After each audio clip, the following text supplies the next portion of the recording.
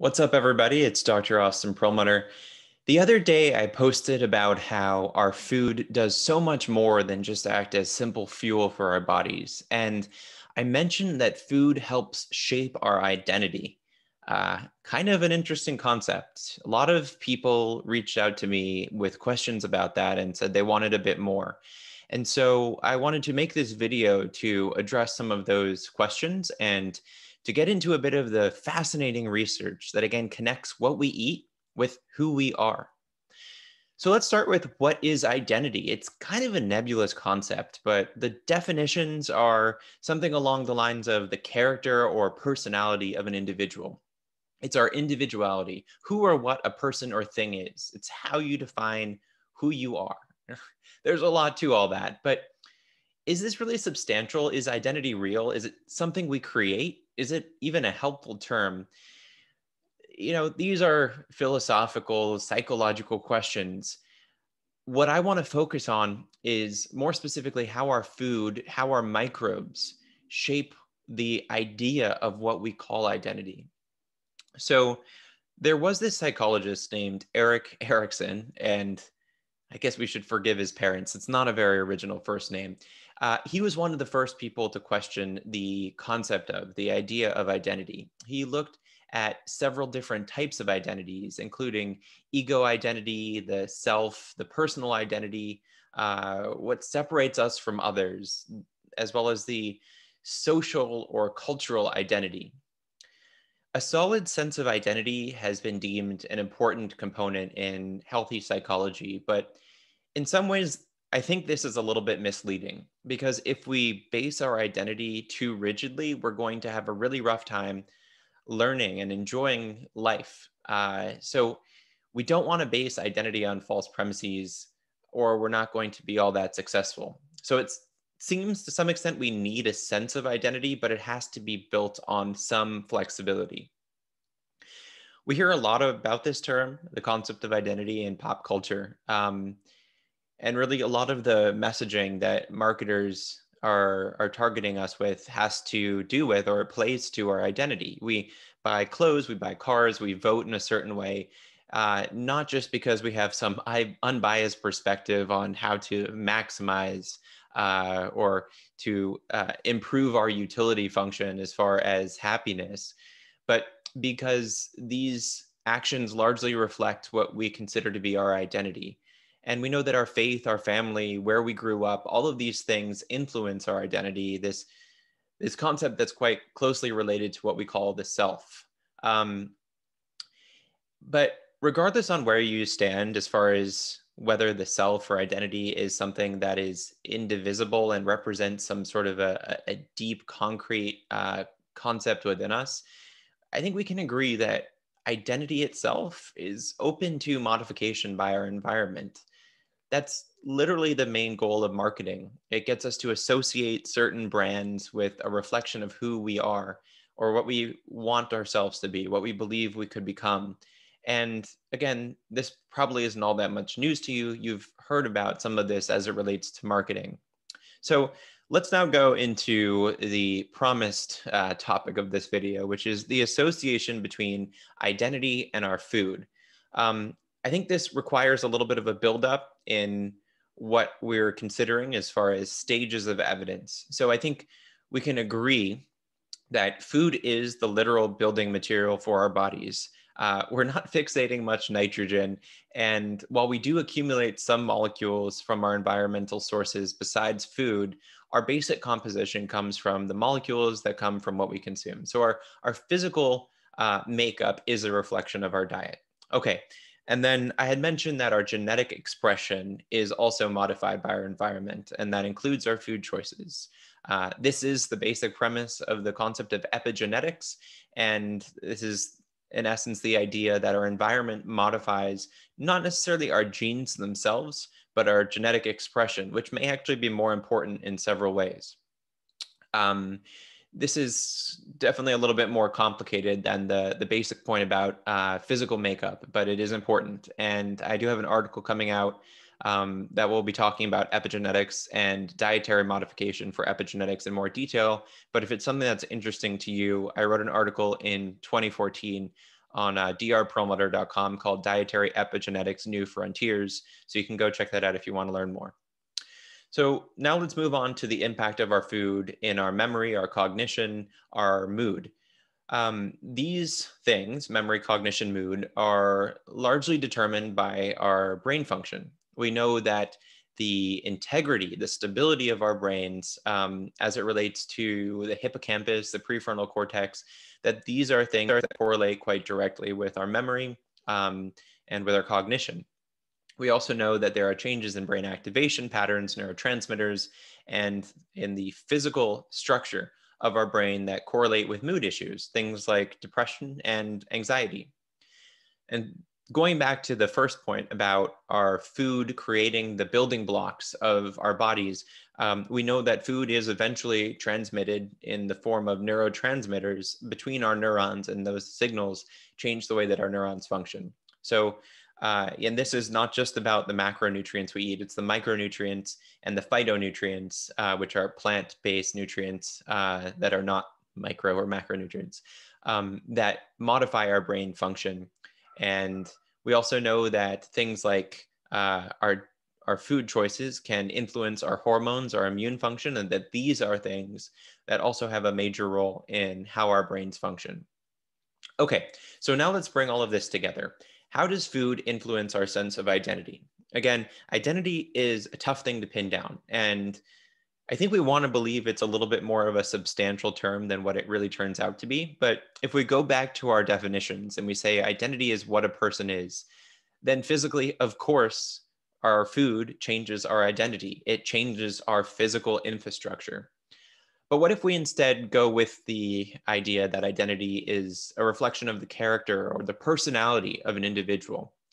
Uh, so then we talk about things like our personality traits.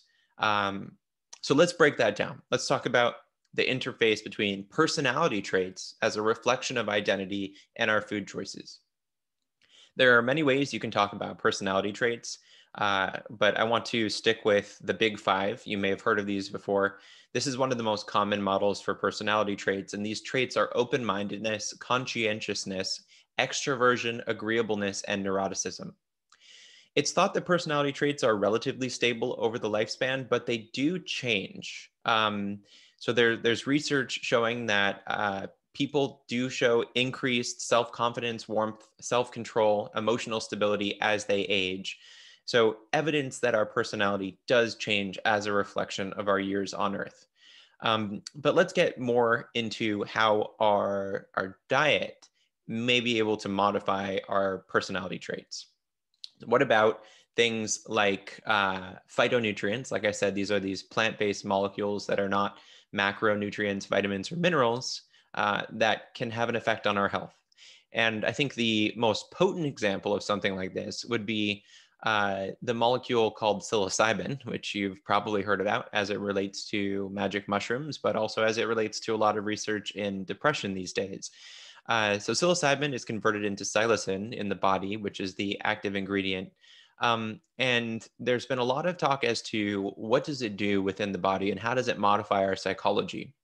And so there was an interesting study published in 2018, which was entitled Effects of Psilocybin Therapy on Personality Structure and they took 20 patients with resistant depression. That's one of the uh, groups of people they've been looking at as far as the effects of psilocybin.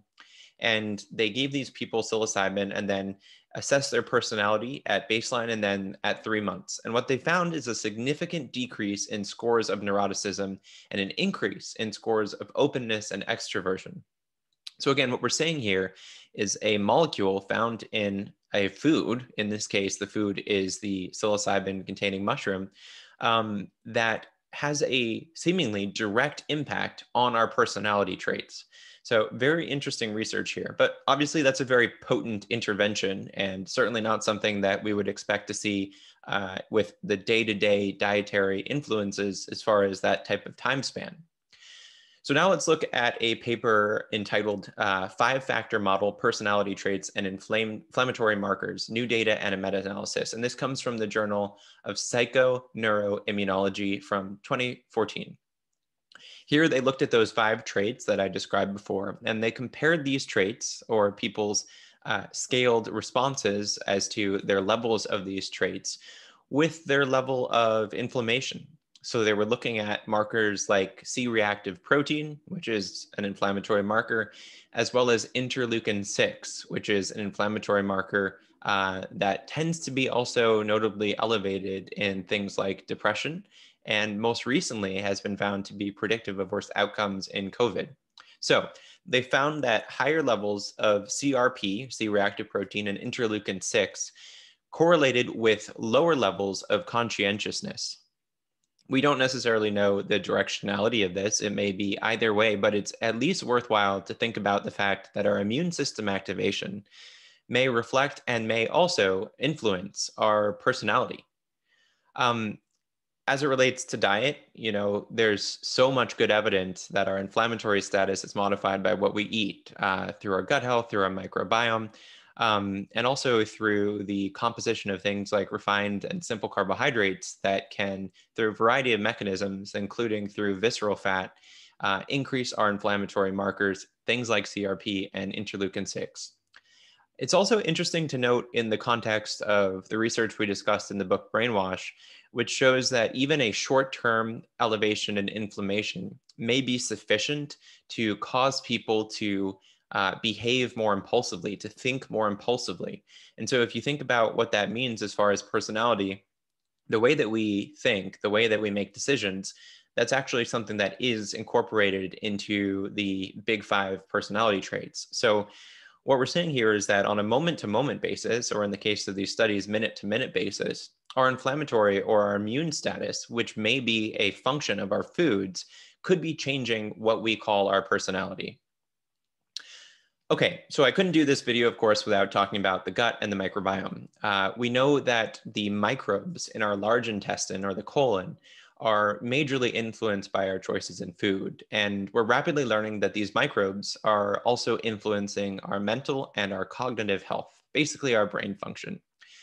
Uh, there was an especially interesting study published on this in March of 2020 called Gut Microbiome Composition and Diversity Are Related to Human Personality Traits, and it was published in the Human Microbiome Journal. What they found uh, was a couple of things, actually, but they found that um, being more social is associated with a higher diversity in microbes. And maybe not super surprising there because if you're around more people, you'll have more exposure to a variety of things. And so uh, one of the things that might result from that is more diversity of microbes. Um, they also found that anxiety and stress are associated with a reduced diversity of the microbiome. As it relates to these big five personality traits, it was interesting to note they found that agreeableness was related with a decreased diversity in the microbiome. So again, a connection there that the microbial diversity is correlated with a personality trait, or at least a level uh, score of a specific personality trait. And then the last point I want to talk about here is as it relates to hormones.